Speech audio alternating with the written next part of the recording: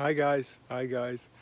Um, I just I just have to share this with you. I mean, the synchronizations that I'm experiencing are so profound It's so beautiful. Like I wake up in the morning and something in my head is saying, "Wow, you, you should go to your project, you know, to your house." And I go there, and yes, they're cutting the trees, and I was just in time to tell them I wanted to cut certain things like this and this and then I went, uh, then I went to the beach. I was at the beach and I said, hmm, I told him to cut it like this and this. Maybe you should cut it like that and that. I was, you know, I was adjusting my creation basically.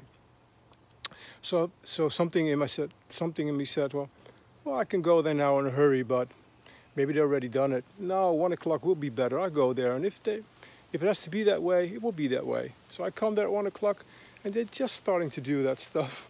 so, and these kind of things are happening all the time. I just feel so connected. I, I hear the angels communicating with me, with me, just guiding me, and I'm just trusting and surrendering.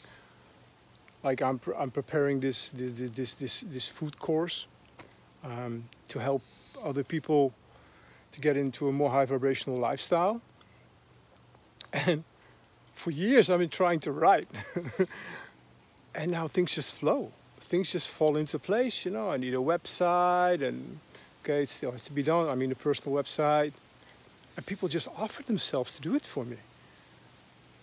I mean, I mean, I just want to share this with you guys, and just giving you much love, and I'm so grateful to be in this journey all together, and just much love.